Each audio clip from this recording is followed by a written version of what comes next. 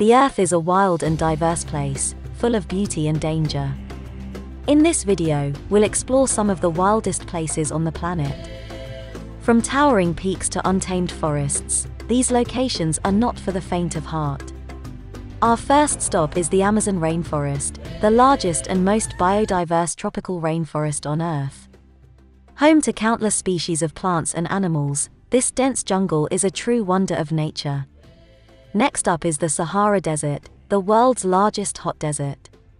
This vast expanse of sand and rock is home to extreme temperatures, deadly sandstorms, and some of the toughest conditions on Earth.